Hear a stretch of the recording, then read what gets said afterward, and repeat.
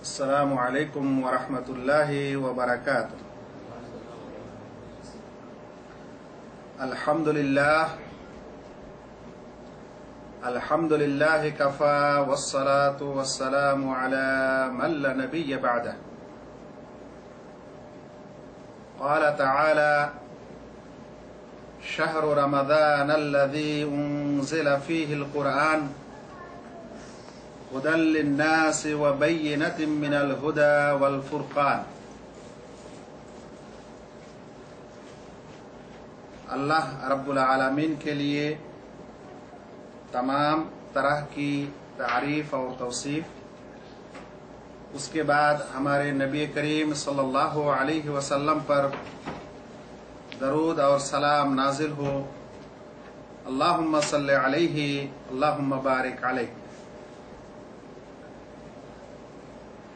चूँकि कुछ दिनों बाद ही, इंशाअल्लाह, रमज़ान का महीना हमारे बीच तशरीफ़ लाने वाला है। इसलिए ये मौसम और ये वक्त का तकादा है कि हम लोग शहर रमदान रमदान महीने के ताल्लुक से ही कुछ बातें करें, कुछ दिन की बातें सीखें। और रमदान और अहकाम रमदान, सौम और अहकाम सौम के मुतालिक हम इल्म हासिल करें। यही वजह है कि मैंने आज आप लोगों के सामने रमदान के ताल्लुक से ही कुछ चंद बातें आपके सामने रखने की नीयत की है। आप सबको, हम सबको अगर कोई अच्छी कीमती चीज़ मिल जाए, कोई बेहतरीन और कीमती चीज़ मिल जाए, चाहे वो रुपया पैसा हो, या चाहे वो कोई गाड़ी हो, या चाहे वो कोई, या चाहे वो कोई और दूसरी चीज़ हो, अगर अगर आप सबको मिल जाए, हम सबको मिल जाए तो हम क्या करते हैं? आप लोग आप लोग थोड़ा उधर उधर चले जाइए और उसमें आप लोग खामोश रहिए, कोई बात ठीक है। अगर हम सबको कोई ऐसी कीमती चीज़ मिल जाए, चाहे वो रुपया पैसा हो, गाड़ी बाड़ी हो, और कुछ हो तो हम लोग क्या करते हैं? एक इंसान उसको मिलने से पहले, अगर उसको पहले से खबर हो जाए कि हमें ये कीमती चीज़ मिलने वाली है तो ज़रूर वो पहले से सोचते हैं कि अगर हमें ये मिल जाए तो मैं क्या करूँगा? मैं उसका कहाँ इस्तेमाल करूँगा? मैं उसे किस जगह रखूँगा? कैसे हिफाजत करूँगा? और ये मुझसे जाया ना हो जाए तो ना हो जाए, इसलिए मुझे क्या करना है? इस तरह की प्लानिंग हर एक इंसान एक कीमती चीज़ पाने के वक्त करता है। और वो दुनिया भी चीज़ होती है। तो अगर एक मोमिन को, एक मुस्लिम को उसकी ईमान और अमल के ताल्लुक से कोई ऐसी कीमती चीज़ मिल जाए जिससे बड़ी कीमती नहीं हो सकती तो उसे क्या करना चाहिए? लेकिन मुश्किल यह है कि इंसान अपने दुनियावी चीज़ों में ये सब प्लानिंग ज़रूर करते हैं, मगर आखिरत की चीज़ों में, ईमान और अमल की चीज़ों में इस तरह की प्लानिंग नहीं करता है, जो गलत है। लेकिन एक मोमिन को करना चाहिए। इसलिए आज हम लोग इस मजलिस में, इस बैठक में सबसे कीमती महीना, रमज़ान का महीना, फजीलत का महीना, रहमत का महीना, और इसके ताल्लुक से जो कुछ है, उस उस महीने के मुतालिक हम लोग आज एक रूटीन तैयार करने वाले हैं। एक रूटीन तैयार करने वाले हैं, एक जदवल तैयार करने वाले हैं। इंसान अपने अपने हिसाब से इस महीने से ज़्यादा से ज़्यादा इस्तेफादा करने के लिए उसको ये रूटीन इंशाला फायदामंद साबित होगा। और अपने काम और मशगला के हिसाब से, अपने मुजतमा और मुआशरा के हिसाब से, वो इसका सेट कर सकता है, अपने हालात के हिसाब से सेट कर सकता है, ताकि उसको फ़ायदा मिले। इंशाला हम लोग 24 घंटा एक दिन और एक रात में जो रूटीन तैयार कर सकते हैं, एक मोमिन को जो करना चाहिए इससे और भी अच्छी तरह से वो अल्लाह ताला की इबादत के लिए और रमज़ान महीना को अच्छी तरह से उसको, उसकी तैयारी के लिए और उसमें इबादत करने के लिए वो कर सकता है। लेकिन हम लोग एक खाका तैयार करेंगे, जिससे हमें इंशाअल्लाह फ़ायदा होगा इस रमज़ान से मुस्तफीद होने के लिए। सबसे पहले तो ये कहना है कि ये एक तकरीबी रूटीन है। इंसान अपने मुजतमा और मुआशरा और काम वगैरह के हिसाब से तैयार करता है। फिर इंसान इस इस इस चीज़ को सामने रखकर खुद अपने से भी वो तैयार कर सकता है। हम लोग इस रूटीन में सबसे पहले जो रखे हैं वो ये है कि रमज़ान के महीना में इफ्तारी से कबल। इफ्तारी से कबल। रमज़ान के महीने में इफ्तारी से कबल, इफ्तारी से कबल जो वक्त होता है, ये होता है अलामिन ऑफ़ कर रमज़ान से पहले, सहरी से पहले जो वक्त होता है, वो वक्त होता है रात के आखिरी हिस्सा। रात का आखिरी हिस्सा, जिसे शरीयत में सुलुसुल लैल आखिर कहा गया है। ये रात का आखिरी हिस्सा मोमिन के लिए बहुत इंपॉर्टेंट होता है। इस हिस्से में एक रमज़ान, एक रोजादार सहरी खाता है। और सहरी के लिए वो उठता है। लेकिन हमें याद रखना चाहिए कि ये वक्त चूँकि बहुत कीमती है और बहुत फजीलत का है, इसलिए इसमें दुआ और इस्तेगफार ज़रूर किया जाए। कम अज कम दुआ और इस्तेगफार ज़रूर किया जाए। अल्लाह रब्बुल आलमीन फरमाते हैं, वबिल असहार यस्तगफिरून। वो लोग सुबह सवेरे अल्लाह ताला से इस्तेगफार करते हैं। अल्लाह के रसूल सल्लल्लाहु फरमाते हैं, यंजिल रब्बुना तबारक व तआला हमारे रब तबारक व तआला उतारते हैं, उतरते हैं, नजूल फरमाते हैं। कुल्ला लैलतिन इला समाई दुनिया, हर रात को दुनियावी आसमान में।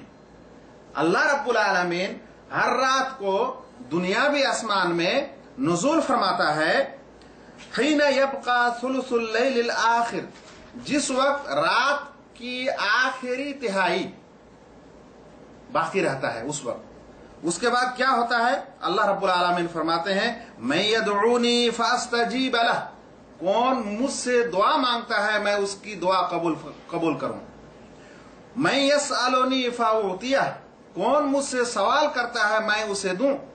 यानी जो मुझसे सवाल करता है, इस वक्त तो मैं उसे देना चाहता हूँ। मैं यस तक फिर अल्लाह कौन मुझसे मगफरत तलब करता है, मैं उसे मगफरत करने वाला हूँ, करना चाहता हूँ।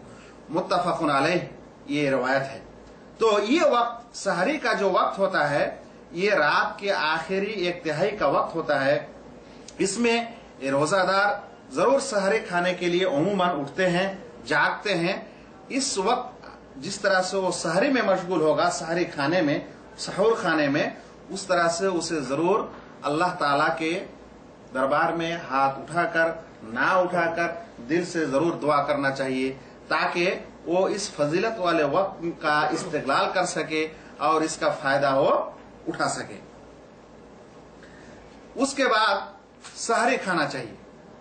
सहरी एक सुन्नत है। रोजादार के लिए, और एक बहुत अहम गजा है, इंसान अगर सहरी खाए बगैर रोजा रखता है तो उसकी हालत और जो सहरी खा के रोजा रखता है, उसकी हालत दोनों में बहुत ज़्यादा फ़र्क होता है। और हर एक इंसान जो रोजादार हैं, कभी अगर उससे सहरी छूट जाता है तो वो पूरा दिन उसको कैसा लगता है, हर रोजेदार को पता होता है। सहरी खाना चाहिए। सहरी खाने के लिए उठना और उसका बंदोबस्त करना। इस नियत से कि आप रोजा रखेंगे, इस नियत से कि आप आइंदा कल रोजा में होंगे, ये दुनियावी काम करना भी आपके लिए इबादत में शामिल होता है। इसलिए सहरी खाने की तैयारी और उसके लिए जो कुछ करना होता है, वो भी आपके लिए इबादत है, अगर आपके अंदर इखलास है। और उससे पहले और उस वक्त अगर आप इस्तेफार करते हैं तो और ज़्यादा आपके लिए फायदामंद है। अल्लाह के रसूल सल्लल्लाहु फरमाते हैं तसहरु फइन्ना फिस सहूर बरका। तुम लोग तुम लोग सहूर खाओ, तुम लोग सहरी खाया करो, क्योंकि सहरी में बरकत होती है। हदीस को बुखारी और मुस्लिम ने रवायत फरमाया ये है फजर से पहले का वक्त और बहुत फजीलत वाला वक्त और अहम काम जो रोजादार को करना चाहिए। उसके जाब, उसके बाद जब फजर तुलू हो जाता है, यानी फजर हो जाता है तो इंसान को बहुत जल्दी जल्दी फजर की नमाज़ के लिए जाना चाहिए और उसके लिए बहुत आगे आगे पेश पेश होना चाहिए। क्योंकि अल्लाह के रसूल वसल्लम फरमाते हैं, वलाउ यअलमून मा फिल आतमा। अगर ये लोग जानते कि ईशा की नमाज़ की क्या फजीलत है, उसमें क्या फजीलत रखी गई है वह सुबह और सुबह की नमाज़ में क्या फजीलत है, अगर ये लोग जानते लातौमा वला हबवन। तो वो लोग इन दोनों नमाज़ में आते, शरीक होते गर्चे उसे उसे हाथ और घुटनों के बल क्यों ना आना पड़े? यानी अगर उसको रगड़ते रगड़ते आना पड़ता तो फिर भी वो लोग आते अगर इसकी फजीलत उनको पता होता। तो इसलिए सहरी खाने के बाद जब भी फजर तुलू हो जाए, आजान हो जाए तो उस वक्त इंसान को ताखिर नहीं करना चाहिए। जितनी जल्दी हो सके मस्जिद में आना चाहिए। उस वक्त और एक फजीलत का की इबादत है, फजीलत वाली इबादत है, वो कि आप अजान के बाद दो रकात फजर की सुन्नत नमाज़ अदा करें। ये दो रकात सुन्नत नमाज़ अल्लाह के रसूल सल्लल्लाहु अलैहि वसल्लम सफ़र में भी पढ़ा करते थे। इसको फुकाह कराम रागीबतुल फजर कहते हैं। रागीबा, यानी जिस, जिसके तरफ़ लोग मरगूब होते हैं, जिसमें बहुत कुछ फ़ायदे हैं। अल्लाह के रसूल वसल्लम फरमाते हैं रकात अल फजर खैर मिन दुनिया व माफीहा फजर की ये दो रकात, यानी फरज नमाज़ से पहले दो रकात सुन्नत। खैर मिन दुनिया व माफीहा दुनिया और दुनिया में जो चीज़ है, जो कुछ है, उससे भी बेहतर है। दुनिया और दुनिया में जो कुछ है, उससे भी फजर की दो रकात क्या है? ज़्यादा बेहतर है।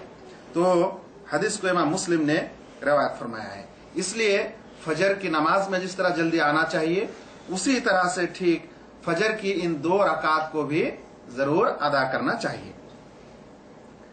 फजर की नमाज़ के बाद इंसान को दुआ और ज़िक्र में मशगूल होना चाहिए, जो अल्लाह के रसूल सल्लल्लाहु अलैहि वसल्लम अमूमन फजर के बाद जो अजकार अजकार सबाह के नाम से मशहूर है, वो अजकार हर मोमिन को खसूस रोजादार को उस वक्त ज़रूर करना चाहिए। याद रखिए कि जिस वक्त अजान होती है और अभी इकामत नहीं हुई है, ये जो वक्फा होता है, ये बहुत ही फजीलत का वक्फा होता है। इंसान अगर इसमें दुआ करता है तो अल्लाह रब्बुल आलमीन उसकी दुआ को कबूल फरमाता है। इसको उस वक्त में शामिल किया गया है जिस वक्त इंसान की दुआ कबूल होती है। अल्लाह के रसूल वसल्लम फरमाते हैं दुआ ला युरद्दु बैनल आजान वल इकामा। ईजान और अजान और इकामत के बीच दुआ मरदूद नहीं होती है। दुआ को रद्द नहीं की जाती है। अजान और अजान और इकामत के बीच दुआ को अल्लाह रब्बुल आलमीन नहीं लौटाते हैं। ज़रूर कबूल करते हैं। हाँ उसका कबूल करने का क्या तरीका है? उसका फ़ायदा उस इंसान को, उस बंदा को कब मिलता है? वो अलग मसला है, लेकिन अल्लाह ताला नहीं लौटाते हैं उस दुआ को। ज़रूर कबूल करते हैं।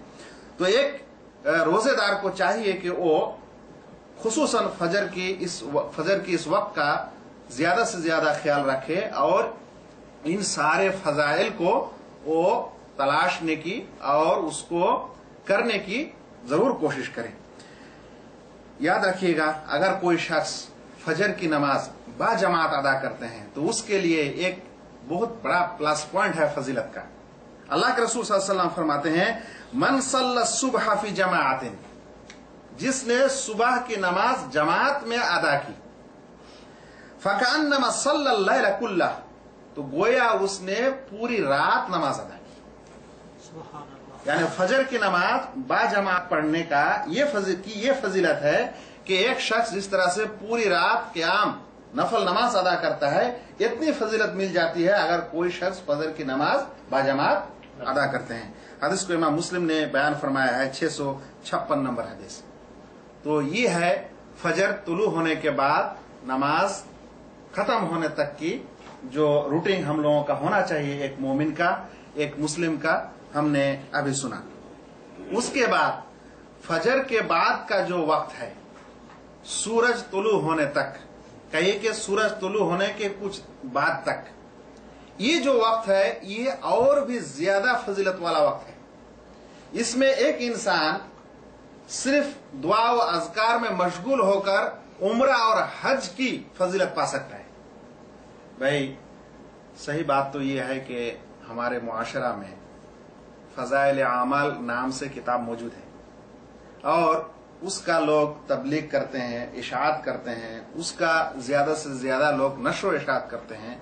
मैं अल्लाह की कसम खा के कहता हूँ कि अगर सिर्फ़ सही हदीस जो एक इंसान की नमाज़ के ताल्लुक से है, सिर्फ़ नमाज़ के ताल्लुक से, अगर वो सिर्फ़ इतना अमल कर ले तो वो डेली, हर दिन या तो वो क्याम, या श्याम, या जन्नत, या यानी इस तरह की हर वो फजीलत जो होनी चाहिए, सब वो पा सकता है। यहाँ तक के जिहाद करने की भी फजीलत पा सकता है। अगर कोई नमाज़ के लिए इंतज़ार करता है तो उसको कहा गया है कि वो वो वैसा ही है जो किसी मुजाहिदीन को, मुजाहिदीन मुजाहिदीन की जो जमात होती है, उनकी हिफाजत के लिए रहता है। और उसकी हिफाजत करना को जिहाद करना। तो इसलिए हर तरह की फजीलत इस नमाज़ के ताल्लुक से है, अगर इंसान थोड़ा सोचे। और दूसरे फजीलत की उसे बहुत ज़्यादा ज़रूरत नहीं है। सुनिए, सलातुल फजर के बाद, फजर की नमाज़ के बाद इंसान को उसी मस्जिद में, उसी जगह बैठ के ज़िक्र अजकार और तिलावत करना चाहिए। ज़िक्र अजकार और तिलावत चाहे ज़िक्र अजगार करें, चाहे तिलावत करें, चाहे दिन की तालीम दें या दिन की तालीम सीखें, ये सब के सब इबादत में शामिल है। अगर कोई शख्स फजर की नमाज़ के बाद सूरज तुलू होने तक इस तरह की इबादत में मशगूल रहता है तो अल्लाह के रसूल वसल्लम फरमाते हैं इदा सल्लल फजरा। अल्लाह के रसूल वसल्लम का अमूमन ये मामूल था कि इदा सल्लल फजरा। आप जब फजर की नमाज़ पढ़ते तरब्बा आफी मजलिस ही तो चार जानू होकर उसी जगह बैठ जाते। हत्ता तत्लो शम्स जब तक के सूरज तुलू ना हो जाए। यानी सूरज तुलू होने तक अल्लाह के रसूल सल्लम फजर की नमाज़ के बाद अपनी मजलिस में बैठे रहते। मुस्लिम शरीफ की हदीस है। उसके बाद जब सूरज तुलू हो जाता था तो अल्लाह के रसूल दो रकात नमाज़ अदा करते हैं। कितनी रकात। सिर्फ़ दो रकात। अल्लाह के रसूल फरमाते हैं मन सल्लल फजर फ़ी जमा जो शख्स जमात में फजर की नमाज़ अदा करेगा। शर्त यह है कि वो जमात के साथ क्या करेगा? फजर की नमाज़ अदा करेगा। सुम्मा कादा यदकुरुल्लाह उसके बाद बैठ के अल्लाह का ज़िक्र करेगा। हत्ता तत्लो शम्स जब तक के सूरज तुलू ना हो जाए। सुम्मा सल्ला रकातैन, फिर वो दो रकात नमाज़ अदा करेगा। कानत लहू का अजर हज्जतिन व उम्रतिन तामतिन तामतिन तामतिन उसके लिए एक हज के अजर के बराबर है और एक उम्र के अजर के बराबर नेकी है। पूरा मुकम्मल मुकम्मल मुकम्मल। यानी मुकम्मल हज उम्र की जो नेकी है जो सवाब है उस शख्स को मिलेगा इंशाल्लाह। और अल्लाह ताला के यहाँ कोई बाइद नहीं है। अल्लाह ताला के, के लिए ये कोई कोई बड़ी, कोई बड़ा मसला नहीं है कि अल्लाह रब्बुल आलमीन किसी मोमिन को उसके इस तरह के अमल की वजह से कभी हज का, हज की नेकी दे दें, कभी उम्र की दे दें, ये अल्लाह ताला की मर्ज़ी है और अल्लाह ताला का शान है और वो रहमान और रहीम है जिसे चाहते हैं इस तरह से अदा करते हैं अदा करते हैं। इस हदीस को इमाम तिरमिजी ने बयान फरमाया है, रवायत किया है ये होता है अमल का, अमल के लिए आपके वो अवकात जो यहाँ कुछ देर के लिए हम लोगों ने एक वक्त मुतयन किया और उसके लिए कुछ नमूना पेश किया। उसके बाद इंसान अपने माहौल के हिसाब से, अपने मुजतमा के हिसाब से, अगर उसके बाद काम का, काम काज में मशगूल होने का सिस्टम है अपने मुल्क में तो काम काज में मशगूल होगा। और अगर सऊदिया का माहौल लीजिए तो लोग पूरा दिन काम करने के बाद उस वक्त सोना चाहते हैं तो वो सो भी सकता है। याद रखिएगा कि इंसान जब काम करने के लिए निकलता है दुनियावी काम तो उस वक्त भी उसकी नीयत अगर अच्छी होती है और काम उसका हलाल होता है, काम हलाल होता है, नीयत अच्छी होती है, यानी उस काम के ज़रिए वो अल्लाह ताला की या तो इबादत करना चाहता है या अपने बाल बच्चों की तरबियत करना चाहता है और अपने हाथ की कमाई खाता है तो अल्लाह के रसूल फरमाते हैं, मा अकल तामन खैरुम मिन अमल यदिह। किसी ने खाना नहीं खाया अच्छा खाना जो हो सकता है, वो यही है कि वो अपने हाथ की कमाई से जो खाता है, वही सबसे अच्छा खाना होता है। हाथ की कमाई से जो इंसान इनकम करता है और खाता है, वही सबसे अच्छा खाना और हलाल खाना होता है। वही नबी अल्लाह दाऊद का न यकुल मिन अमल यदि। अल्लाह के नबी, अल्लाह का नबी दाऊद सलाम अपने हाथ की कमाई खाया करते थे। इसलिए वर्षा वाले, मैकेनिक का काम करने वाले और जो भी अपने हाथ की, हाथ का काम करते हैं, उनके लिए खुशखबरी है। लेकिन बशर्त ये कि वो इंसान वो काम हलाल तरीके से करे, उसमें कोई घोटाला ना करे, उसमें कोई धोखा ना दे तो इंशाला उसका ये काम वैसा ही है। बल्कि हदीस में एक मिसाल पेश की गई है कि दाऊद सलाम अपने हाथ की कमाई खाया करते थे। हदीस के इमाम बुखारी रहमतुल्लाह अलैह ने बयान फरमाया है। और भी याद रखिएगा, इंसान अगर इबादत करते करते अच्छा काम करते करते सोने जाता है, वो थक जाता है और सोना चाहता है तो सोने के वक्त अगर उसकी नीयत ये होती है कि अब मैं थक चुका हूँ, अब सो लूँगा, आराम कर लूँगा तो सोने के बाद मेरी इबादत करना मेरे लिए अच्छा आसान हो जाएगा, मेरे लिए फला अच्छा काम करना आसान हो जाएगा। ये नीयत भी अगर रखता है तो उसका सोना भी इबादत है। माद रज़ी अल्लाह तला फरमाते हैं, एक बार उन्हें पूछा गया कि आप जो है तहजद की नमाज़ किस तरह से पढ़ते हैं, आपका रूटीन क्या है, कैसे पढ़ते हैं, नहीं पढ़ते हैं? तो उन्होंने अपनी हालात बयान फरमाया कि मैं इतनी रात तक तहजद पढ़ता हूँ, इतनी रात तक फिर सो जाता हूँ। उसके बाद वो फरमाते हैं, ला इन्नी ला अहतसिब नौमती कमा अहतसिब कौमती। मैं नेकी समझता हूँ मेरी नौम को, यानी मेरे सोने को मैं जो सोता हूँ, आराम फरमाता हूँ, उसको भी मैं नेकी शुमार करता हूँ। जिस तरह से मेरा जागने को मैं नेकी शुमार करता हूँ, यानी जाग के मैं नमाज़ पढ़ने को जिस तरह से नेकी मानता हूँ, उसी तरह से सोने को भी मैं क्या मानता हूँ? नेकी समझता हूँ। इसलिए कि मैं इबादत अच्छी तरह से करने के लिए ही सोता हूँ। तो ये होता है एक मोमिन का उठना, बैठना, जागना, काम करना, सब अल्लाह रब्बुल आलमीन के लिए कैसे होता है? इस तरह से वो होता है और वो इंसान इबादत कर सकता है। हम लोगों ने फजर से पहले से लेकर फजर के बाद तक उमूमन एक रूटीन सुन लिया। उसके बाद जोहर का वक्त आता है। जोहर के वक्त हर इंसान को सबसे पहले नमाज़ फ़र्ज़ है। इसलिए जब भी अजान होती है जल्दी जल्दी उसे मस्जिद की तरफ़ जाना चाहिए, अजान का जवाब देना चाहिए और पाक साफ़ वज़ू होके उसे मस्जिद पहुँचना चाहिए। पहुँचने के बाद उसे चार रका जोहर की जो सुन्नत नमाज़ है, वो अदा करना चाहिए। याद रहे कि इंसान फ़र्ज़ नमाज़ के अलावा मोमिन बंदा, फ़र्ज़ नमाज़ के अलावा अगर बारह रकात ये सुन्नत मुक्दा नमाज़ अदा करते हैं तो अल्लाह रब्बुल आलमीन उसके लिए जन्नत में एक घर तैयार करना इसलिए वो नमाज़ जो फ़र्ज़ नमाज़ से पहले होते हैं और सुन्नत मुक्दा उन नमाजों का ख्याल और अहतमाम हर मोमिन को सबसे ज़्यादा होना चाहिए फ़र्ज़ नमाज़ के बाद। तो जोहर से पहले इंसान मस्जिद पहुंचेगा और जाके चार रका सुन्नत नमाज़ अदा करेगा। उसके बाद जब तक इकामत ना हो जाए, दुआ और अजकार, तिलावत वगैरह करेगा, उसके बाद जोहर की नमाज़ अदा करेगा। याद रहे, जोहर की नमाज़ के बाद अगर इंसान काम से फारिग होता है तो ये ऐसा एक वक्त होता है कि इंसान थोड़ा थका हुआ महसूस करता है और कोई काम उसको जो है जल्दी पसंद नहीं लगता है, मशगूल नहीं हो सकता है, ध्यान नहीं जाता है। ऐसी सूरत में अगर कोई मोमिन है और उसको उस वक्त को भी वो नेकी में और सवाब में लगाना चाहता है तो उसे चाहिए कि कोई एक अच्छी सीडी सुने, कोई एक कैसेट सुने, कोई तिलावत सुने। अगर किताब पढ़ने का शौक हो तो दीन की किताब सुने, दिन की किताब पढ़े, इस्लामी अहकाम सुने इस तरह से वो इस वक्त को लगा सकता है। फिर अगर वो चाहता है कि कुछ आराम करेगा तो आराम फरमाएगा। अल्लाह के रसूल सल्लल्लाहु अलैहि वसल्लम ये भी फरमाते हैं व इन बदन का अलई का हक का तुम्हारे बदन का भी तुम पर हक है। यानी एक इंसान का जो जिस्म है, उस पर भी हम लोग जुल्म नहीं कर सकते। उसको जितना आराम चाहिए, उतना आराम करना चाहिए। तो एक बदन का, जिस्म का भी एक हक है। वो हक इंसान उसको देना पड़ेगा और इंसान अगर थकावट महसूस करता है तो उसको आराम कर लेना चाहिए।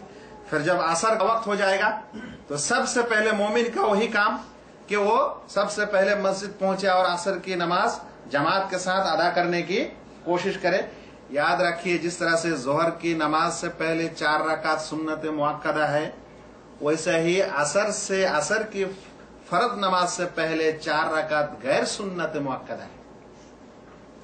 चार रकात सुन्नत है, असर नमाज़ से पहले जिसे सुन्नत मुआक्कदा नहीं है। उसकी फजीलत में अल्लाह के रसूल सल्लल्लाहु फरमाते हैं रहम अल्लाह इमरान। अल्लाह ताला रहमत करे उस शख्स पर, सल्ला कबल कबल असर अरबान, जो असर से पहले चार रकात नमाज़ अदा करता है। इसलिए ये चार रकात नमाज़ जो साबित शुदा है एक मोमिन और एक अच्छा मोमिन के लिए ये होना चाहिए कि वो जो अमल करता है, जो सुन्नत से साबित है, वो पहले करे। और वो अपनी इबादत में और अपनी रूटीन में शामिल करे। मुमकिन है दूसरे दिन जो है उसको वो वक्त ज़्यादा ना मिलने की वजह से नहीं पढ़ पाता है, लेकिन अगर रमज़ान में उसको वक्त मिलता है और रमज़ान में ज़्यादा इबादत करना चाहिए, इसलिए वो इस तरह के मशरू और सुन्नत इबादत को तरजीह दे। उसके बाद इंसान असर के बाद कुरान मजीद की तलावत करेगा। या फिर अगर कहीं दर्स है, मस्जिद हो और कहीं हो दस चलता है तो ऐसी सूरत में वहाँ इल्म हासिल करेगा। इस तरह से ये वक्त वो गुजार सकता है। याद रखिएगा कि हर वो शख्स जिसके लिए एक खास वक्त कुरान पढ़ने के लिए, कुरान की तिलावत के लिए, खत्म के लिए अगर उसके पास कोई खास वक्त नहीं है तो सबसे बेहतरीन तरीका ये है कि वो जल्दी नमाज़ के लिए आए, फ़र्ज़ नमाज़ के लिए, और वो पंद्रह बीस मिनट का जो वक्फा होता है, उसमें अगर वो पाँच मिनट में अपने सुन्नत नमाज़ अदा करते हैं, या सात मिनट में सुन्नत नमाज़ अदा करते हैं तो पाँच सात मिनट उसको कुरान पढ़ने का वक्त मिल जाता है। और अगर वो पाँच सात मिनट करके कुरान पढ़ते हैं तो इनशाला ज़रूर कितना भी आहिस्ता से पढ़े इनशाला वो पाँच वक्त में दस सफ़ा ज़रूर पढ़ सकता है, यानी एक परा कुरान मजिद वो पढ़ सकता है। और इसी तरह से पूरे रमज़ान में बगैर किसी वक्त खास किए हुए वो एक कलाम पाक का खत्म कर सकता है। अब मगरिब से पहले का जो वक्त है, ये वक्त इंसान और रोजादार उमूमन थका हुआ होता है। और खसूसन आजकल के दिनों में जब गर्मी का दिन है और दिन भी बड़ा है तो इंसान थक जाता है। ऐसे वक्त में उमूमन देखा जाता है, खसूसन जो घर के जिम्मेदार होते हैं, मर्द होते हैं, वो अपना सब कुछ काम छोड़ के चुपचाप बैठे रहते हैं और आहलिया यानी बीबी हो या घर के काम करने वाले जो मुतालिन खातन होते हैं, वो लोग उस वक्त ज़्यादा बिज़ी हो जाते हैं। और उन लोगों को इफ्तारी और दूसरे खाना वगैरह पकाने के लिए मशगूल हो जाना पड़ता है। ऐसी सूरत में हम लोगों की ज़रूर ज़िम्मेदारी बनती है कि हम लोग उसका मुसाहदा करें। उसका हेल्प करें। जिस तरह से हम थके हुए होते हैं, वो लोग भी थके हुए होते हैं। और जो गार्जियन जो मर्द अपने अहलिया का इस वक्त में कुछ ना कुछ मुसादा करता है, उसके लिए दो फ़ायदे होते हैं। एक फ़ायदा तो यह है कि वो नेकी के काम में ही, नेकी के काम में, सवाब के काम में ही हाथ बटा रहा है। क्योंकि जो तैयार हो रहा है, वो किस लिए? रोजादार के लिए। तो वो भी इबादत है। दूसरा यह है कि आपस में एक मील मोहब्बत बढ़ती है और एक हमदर्दी बढ़ती है और बाल बच्चे जो होते हैं, आपस में एक मिल मिलाप उससे ज़्यादा होता है। याद रखना चाहिए, ख्याल रखना चाहिए कि इंसान ऐसे वक्त में जल्दी गुस्सा आ जाता है। क्योंकि वो, जैसा कि आप लोग जानते हैं कि उस वक्त जो है, इंसान थका रहता है और परेशान महसूस करता है। इंसान को ऐसे वक्त में गुस्सा कंट्रोल करना चाहिए, जहाँ तक हो सके अपने बाल बच्चों के साथ, प्यार और मोहब्बत के साथ काम काज में हाथ बटाना चाहिए। ये इबादत भी है और एक अच्छा उसरा और एक अच्छा माहौल बनाने में और एक अच्छा परिवार बनाने में इंसान को मदद होता है। इंसान को इन चीज़ों का ख्याल रखना चाहिए। है छोटी चीज़, लेकिन इसका फ़ायदा अपने परिवार के लिए बहुत बड़ा होता है। उसके बाद इफ्तार। का वक्त होता है, इंसान को इफ्तार करना चाहिए। ये इफ्तार करने के वक्त ज़रूर सुन्नत की मुराद करना चाहिए। यानी हर वो शख्स जो इफ्तार करते हैं, अगर उसके पास खजूर होता है या रुतब होता है, खजूरों में अगर रुतब होता है, यानी वो खजूर जो जो बहुत ताज़ा होता है तो ऐसे खजूर से वो इफ्तार करे। और अगर नहीं मिलता है तो फिर वो पानी से इफ्तार करे। और जब इफ्तार करे तो बिस्मिल्लाह कहे। इफ्तार खलास हो जाए तो ये दुआ पढ़े।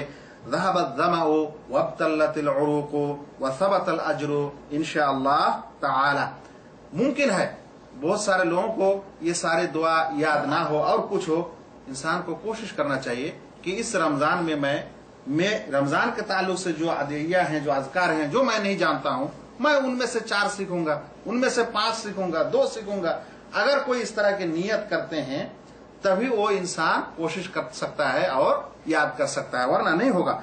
इसलिए हर मोमिन को ये होना चाहिए जज्बा कि मैं जो नहीं जानता हूँ, वो मुझे सीखना चाहिए, चाहे छोटा हो या बड़ा हो। उसके बाद मगरिब की नमाज़ जमात के साथ पढ़नी चाहिए। अमूमन लोग इफ्तारी करते करते मगरिब की नमाज़ जमात के साथ छोड़ देते हैं। ये अच्छा नहीं है, क्योंकि जिस तरह से आप रोजा से रोजा एक रोजा मुकम्मल करने के बाद जिस सवाब का मुस्तक बनते हैं, इस तरह से एक जमात के साथ अदा करने से 27 गुना ज़्यादा आपको नेकी मिल सकती है, जो बहुत मामूली मामूली तसाहुल और काहली की वजह से इंसान का छूट जाता है, जो नहीं होना चाहिए।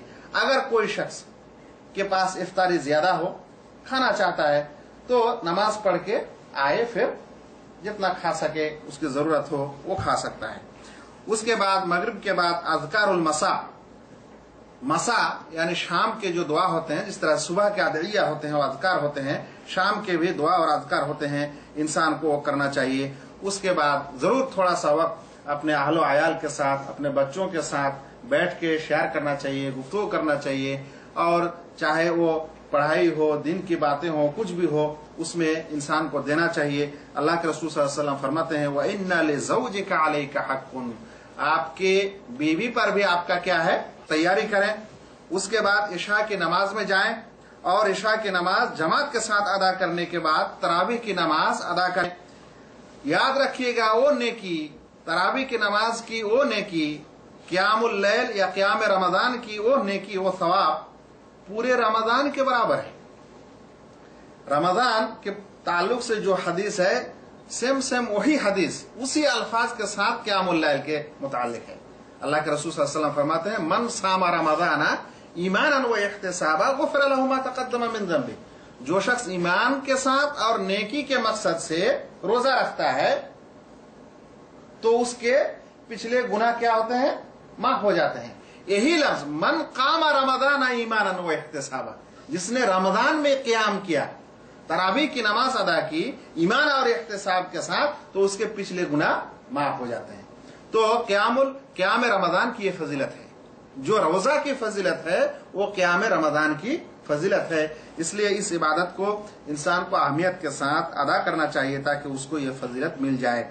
लेकिन इंसान को करना ये चाहिए इस फजीलत को पाने के लिए कि जब तक इमाम ना फिरे क्यामुल लैल में क्यामुल लैल अदा करते करते इमाम जब तक ना फिरे, यानी इमाम जब तक नमाज़ खलास करके, खत्म करके ना लौटे, तब तक आपको उसके साथ रहना चाहिए। अगर आप बीच में छोड़ के चले आते हैं तो ये सवाब उसको नहीं मिलता है। इसलिए याद रखना चाहिए कि जो शख्स जो शख्स तरावी की नमाज़ या क्यामुल, क्याम रमज़ान की फजीलत पाना चाहता है वो तब तक ना लौटे जब तक इमाम की नमाज़ खत्म ना हो जाए। हत्ता शरीफ जब तक के इमाम ना लौटे, तब तक उसके साथ नमाज़ अदा करना चाहिए। अगर जमात के साथ नमाज़ होती है और बितर की नमाज़ इमाम उसी वक्त पढ़ाते हैं तो बितर की नमाज़ आपको पढ़ लेना चाहिए। और अगर बितर की नमाज़ आप ताखिर करना चाहते हैं तो ताखिर भी कर सकते हैं। आखिर आखिरी रात में जैसा कि सहरी से कुछ, वो कुछ पहले अगर आप जागना चाहते हैं और उस वक्त नमाज़ पढ़ना चाहते हैं तो तो बितर की नमाज़ आप उस वक्त के लिए छोड़ सकते हैं। अल्लाह के रसूल फरमाते हैं इज़ आलो आखिरा सलातिकुम बिल्लैल बितरा तुम लोग रात की आखिरी नमाज़ को बितर करो। यानी रात की आखिरी आखिरी वक्त में जो नमाज़ पढ़ो, वो बितर नमाज़ पढ़ा करो। तो इसलिए इंसान बितर की नमाज़ बाद में पढ़ सकते हैं। और इस तरह की अमल के साथ आप एक अच्छा रूटीन तैयार कर सकते हैं और रमज़ान की फजीलत पाने के लिए आप अपने हिसाब से ये एक खाका है, ये एक ये एक नमूना है, आप इस हिसाब से ज़रूर अच्छी तरह से रमज़ान का इस्तेगलाल कर सकते हैं, उसमें इबादत कर सकते हैं। इसके अलावा हम लोग और चंद बातें और मशवरे के तौर पे ये रखेंगे इनशाला वो ये है कि ये इंसान के ज़रूरी ज़रूरी और मुस्तहबात और वाजिबात अमाल का एक रूटीन है। इसके अलावा हर वो रोजादार जो दुनियावी काम काज उसकी ज़रूरत है, वो कर सकता है। जैसे खरीद और फरोख्त। इंसान को रमज़ान हो या गैर रमज़ान हो, खाने, पीने की चीज़ें और ज़रूरी आशिया जिसे कहा जाता है, उसकी ज़रूरत इंसान को होती है। तो उसके लिए इंसान एक वक्त निकालेगा और वो सब खरीद और फरोख्त करेगा, उसमें हर्ज की बात नहीं है। इसके अलावा अगर खेश व अकारब की जियारत करना चाहिए, चाहे वो अपने दोस्त हो, अहबाब हो, या फिर मान लीजिए कि अपने रिश्तेदार हो, इन लोगों का भी आपको ऐसा नहीं है कि रमज़ान आ गया है, इसलिए सिर्फ़ आप इबादत में मशगूल हैं और जियारत वगैरह से लोगों को महरूम रखते हैं, बल्कि जियारत करने की भी बहुत बड़ी फजीलत है। जहाँ तक हो सके इंसान जियारत और एक दूसरे की के घर आना जाना जो दूसरे दिन होता है, वो भी जारी रखेगा। और बच्चों के तालीम खसूस जो लोग गार्जियन हैं, उन लोगों को चाहिए कि वो अपने बच्चों को रोजा रोजा की ट्रेनिंग दे और बच्चों को कुछ ऐसा तालीम, ऐसा माहौल रमज़ान में दे कि उन लोगों को शौर हो कि जो है, ये जो महीना है, ये दूसरे महीने की तरह नहीं है, बल्कि इस्लाम में, हम लोगों के घर में या हमारे मुआशरा में इसका एक अलग पहचान है, एक अलग फजीलत है, अहमियत है। हम लोग इसमें मान लीजिए कुरान सीखते हैं, कुरान याद करते हैं, या बच्चों को सिखाते हैं, या दो चार दुआ सिखाते हैं, या और कुछ जो बच्चों को शोर होना चाहिए कि मेरा वालिद, मेरा वालदेन जो है इस महीने में कुछ न कुछ ज़रूर करते हैं जो हमें करना चाहिए। इंसान को शोर नहीं होता है। जब वो गार्जियन होता है, उसको शोर नहीं होता है कि उसका कौन काम, कौन आदत उसके बच्चे पकड़ेंगे और उसका कौन ये से इबादत जो है सदका जारिया की तरह रह सकता है, उसको पता नहीं होता है।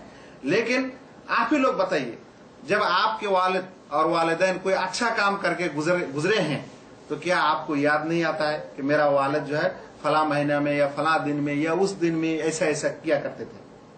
तो जिस तरह से आप याद करते हैं, उस तरह आपके बच्चे भी इंशाला याद करेंगे। तो रमज़ान के इस महीने को, फजीलत वाले महीने में ज़रूर कुछ ऐसा होना चाहिए जो आपके घर में, जो आपके माहौल में कुछ ना कुछ अपने बच्चों के लिए, आलो आयाल के लिए एक मैसेज जाए और उन लोगों को शोर हो। इसी तरह से इंसान को रमज़ान के महीने में ज़्यादा से ज़्यादा सदका और खैरात करना चाहिए, वो अपने हिसाब से। अपने हिसाब से होगा। जिसका जितना इनकम है, जिसका जितना आता है, उस हिसाब से वो ज़रूर कुछ ना कुछ रूटीन में रखेगा। क्योंकि अल्लाह के रसूल वसल्लम ऐसे ही आप करीम थे। आप बहुत ज़्यादा सखी थे, मगर रमज़ान में आपकी सखावत कुछ और होती थी। इसलिए हर इंसान को सुन्नत नबवी का ये तरीका अपनाना चाहिए। बहुत सारे लोग ऐसे होते हैं कि उसका रमज़ान और गैर रमज़ान दोनों बराबर है। इसमें भी हाथ हाथ नहीं खोलता है और रमज़ान भी नहीं खोलता है। ऐसा नहीं होना चाहिए। भाई, ये जब तक इंसान हाथ खोलना नहीं सीखेगा तब तक वो सदका और खैरात नहीं करने सीखेगा। इसलिए रमज़ान से ही शुरू हो, मगर होना चाहिए।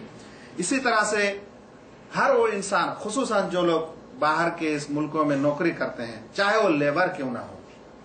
अगर ऐसा भी शख्स है, अगर वो चाहे तो डेली एक ना एक शख्स को ज़रूर इफ्तार करवा सकता है। या नहीं सकता अभी। एक नहीं, एक से ज़्यादा करवा सकता है। लेकिन देखिए, हमारे वहाँ का माहौल और यहाँ के माहौल में क्या फ़र्क है? यहाँ के माहौल में लोग यहाँ इफ्तार करने का अलग से एक इंतज़ाम होता है, चाहे वो दावत सेंटर हो, चाहे और कहीं हो, और कहीं हो, लोग जाके इफ्तार दे देते हैं। हम लोग जानते हैं, ऑफ़िस में लोग आता है। कहते हैं, ऐसा नहीं कहते हैं कि एक आदमी का इफ्तार कितना है। पहले पूछते हैं, एक आदमी का इफ्तार कितना है? बोले, दस रियाल है, मान लीजिए। तो कहते हैं, फिर एक महीने का कितना होगा? कोई कहते हैं कि मुझे जो है, पूरे एक महीने का तीस आदमी का चाहिए। पूरे एक महीने का चाहिए। कोई कह रहा मुझे दस आदमी का चाहिए। तो इस तरह से एक जज्बा है। और हम लोगों के इसमें अगर बहुत सारे लोग इफ्तार करने वाले हैं, लेकिन फिर भी आप आराम से अपने रिश्तेदार, अपने गाँव, अपने मोहल्ले के कोई भी किसी भी शख्स को इफ्तारी के वक्त ज़रूर हाथ पकड़ के लाके बैठा सकते हैं। यहाँ तक के कैंप वगैरह में जो आप लोग इफ्तार करते हैं, ज़रूर एक दो दिन ऐसा होना चाहिए कि आप दो चार साथियों को लेके आए। जैसे आप दूसरे के पास जाएँ, आप भी दूसरे को लेके आए। ये एक तरीका है जो आसानी से इंसान कुछ ना कुछ इसमें नेकी और सवाब तलब कर सकता है, सवाब पा सकता है। और ज़रूर, ज़रूरी ये है कि इंसान इल्म तलब करे। रोजा के मसाइल, रोजा के अहकाम, सौम के अहकाम और मसाइल ज़रूर जाने। जब तक इंसान नहीं जानेगा, तब तक जो है, या तो गलती करेगा, या एक अच्छा काम जो फजीलत वाला था, वो छोड़ के जो अच्छा नहीं है, वो करेगा और कुछ करेगा। इसलिए रोजा के मसाइल के ताल्लुक से कोई किताब हो, कोई सीडी हो, कोई शरीत हो, ये सब ज़रूर सुनना चाहिए और हर मसले को, हर मसले को आराम से सीखना चाहिए। अगर इस साल वो दस मसला सीखता है तो आइंदा साल और भी दस सीख सकता है। इस तरह से पाँच, सात साल के अंदर वो रोजा के आराम से मसाइल सब सीख सकता है। इल्म के बगैर कोई भी अमल दुरुस्त नहीं होता और ना उसको मुकम्मल होता है, इसलिए इंसान को चाहिए। हम बातों के आखिरी पड़ाव में है। लास्ट में जो बात कहना है, वो ये है कि एक इबादत गुजार इंसान या इबादत करने वाला इंसान या अल्लाह ताला के सवाब के लिए अमल करने वाला इंसान, अगर वो दुनियावी काम करते हैं, उसके अमल के बीच बीच जिस तरह से हमारी बातों में आई है कि साहब माद रदी अल्लाह तला फरमाते हैं कि मैं सोता हूँ इबादत करते करते तो मैं सोने को भी इबादत समझता हूँ और मैं जागने को भी इबादत समझता हूँ। क्योंकि इबादत के गर्ज से अगर कोई इंसान दुनिया भी काम करता है, या कहिए कि कोई इंसान खालिश दुनियावी काम करता है और उसमें इखलास होता है अच्छा करने की कोई नीयत होती है, मान लीजिए कि इंसान डॉक्टर सीख रहा है, तबीब बनना चाहता है, ये दुनिया भी दुनिया भी इल्म है। मगर अगर उसकी नीयत यह है कि मैं तबीब जब बन जाऊँगा तो मैं मिस्किनों का इलाज कराऊँगा फ्री में। मेरे पास पैसा होगा तो मैं अल्लाह के रास्ता में खर्च करूँगा तो उस तरह की दुनियावी अमल भी उसके लिए दीनी अमल बन जाता है। तो इस तरह से हर इंसान का वो काम, जो दुनियावी काम है, वो अगर इबादत की नीयत से करते हैं तो इनशाला उसमें भी सवाब और अजर का मुस्तक होता है। अल्लाह ताला से दुआ है कि अल्लाह ताला हम सबों को रमज़ान पहुँचा दे। और आइंदा रमज़ान अल्लाह ताला हम सबों को ये तोफीक अता करे कि हम सेहत व आफियत के साथ इस रोजा आइंदा आइंदा रमज़ान महीने में रोजा रखने की तोफीक अता करें। और जो हम लोगों ने सुना है, इनमें से अगर हम पूरी तरह से, पूरी रूटीन को फॉलो नहीं कर सकते तो कम से कम कुछ ना कुछ ज़रूर इन रूटीन और इन बातों में से जो आपके लिए अच्छा हो, आपके लिए जो आरामदेह हो, सुटेबल हो ऐसे कुछ अमल ज़रूर आप लोग रखेंगे, शामिल करेंगे। इसी तमन्ना और दुआ के साथ आज की बातों का यही अख्ताम होता है। ओमा अलैना अल्लाम बलाग अस्सलाम वालेकुम